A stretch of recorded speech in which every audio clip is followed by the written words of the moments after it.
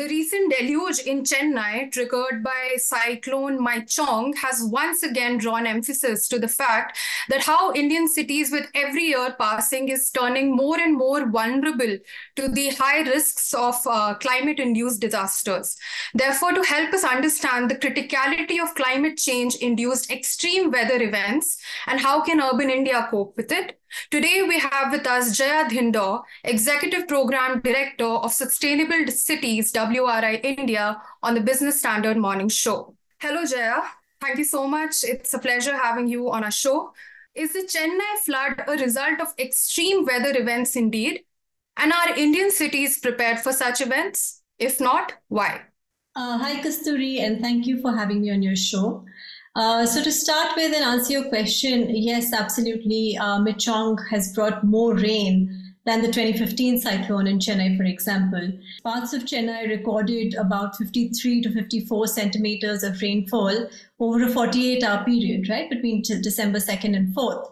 Uh, some stations have much higher numbers, and this is over half of the annual rainfall in Bangalore, right? Just to give you a comparison. Uh, so, as per IMD, the warmed up atmosphere is leading to massive rains over shorter durations now. That's what's happening climatically. And are Indian cities prepared for such events? The answer, unfortunately, is no. Uh, and that's not just Indian cities, right? Globally, we are actually not prepared, we're underprepared for this. Uh, and these are there are three reasons for that. For example, one is that the infrastructure capabilities of cities were not designed to handle the kind of events that we are seeing these days. Uh, the second reason is really the sprawling form of urban development, which is largely unplanned, having built up in ecologically sensitive and low-lying zones uh, being, you know, a big issue. Uh, Chennai also has a relatively flat terrain, which makes the draining of the water difficult. So while it floods, the water doesn't seep out very easily. Uh, and so you, you see this pattern, you know, keeps on repeating itself, one city after another. Sometimes it is Mumbai, Bangalore, you know, Delhi, Himachal, and across the country like you said that all these cities their uh, storm water drainage the, their drain sizes are undersized and they're not equipped to handle uh, more than estimated uh, rainfall.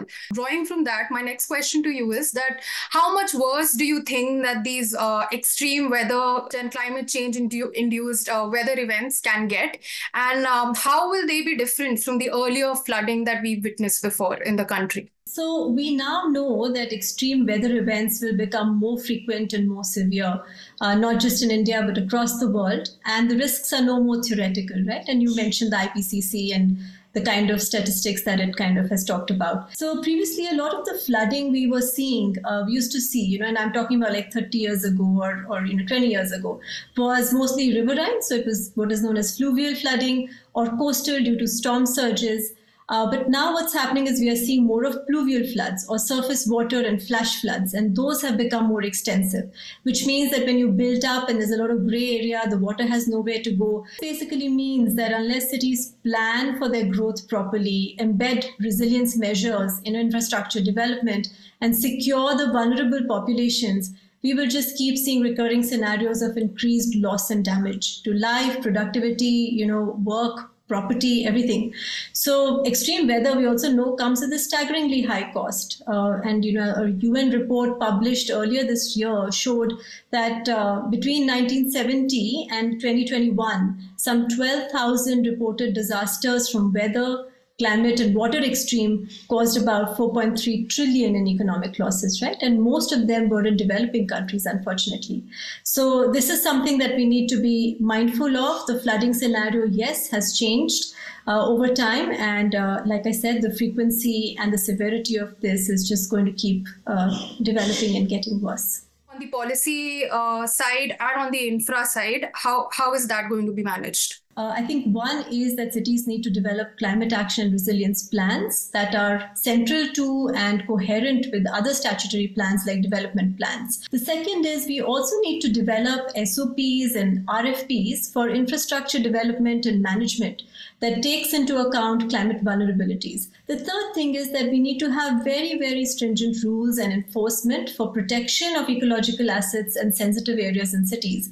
We can no longer afford to build, you know, know, wherever land is cheaper, for example, which is on the outskirts and the fringes of the city and where the ecological assets often reside. The fourth thing is that, you know, we need to create plans for upgradation of infrastructures carrying capacities. Uh, like I said, you know, some of that was not anticipated and therefore your infrastructure is, you know, 40 years, 50 years, 100 year old in some cases like Kolkata. And then finally, we need to figure out and prioritize financing for such infrastructure, right? Like, how do we fund this infrastructure? Where does the money come from? How do we kind of, as a city, uh, you know, come collectively towards, you know, building and financing this kind of infrastructure is something that cities need to do on a priority basis. I read somewhere that Indian um, the urban planners they're not that they don't pay attention to the land use patterns and how to uh, incorporate land use analysis and assessment into their urban planning but there's more attention uh, on accommodating the rampant urban sprawl so uh, what do you have to say about that ma'am is that true See, um, I'm an urban planner by training, so I can I can talk about this a little bit. Uh, when I went through sort of training, right, in urban planning, this was over 20 years ago. Climate change, climate disasters were not a conversation even at that time, right? So when we were doing all of this. Uh, these are things that we have come to learn, know about as you know cities are facing these problems, right? So the traditional models of urban planning definitely look at sort of land use patterns and accommodating, you know, like building compact cities and all of that. Mind you, these are also very important mitigation efforts, right? But the important thing now, the central tenet of you know urban planning is definitely going to be around climate resilience and how do we adequately incorporate it. And that is why, like I said earlier, we need to understand how to bring coherence between all of our development plans, all of our statutory plans that apply to a city, that apply to a region or a district, and ensure that climate resilience is at the heart of it. So that was it. Uh, thank you so much, Jaya. It was a pleasure talking to you. Thank you so much for joining us on the Business Standard Morning Show. Thank you very much, Kasthuri. It was a pleasure being here.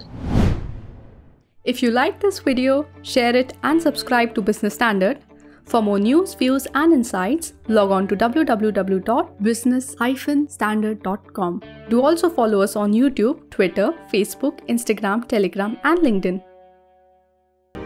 He's making plans for an early retirement. Business Standard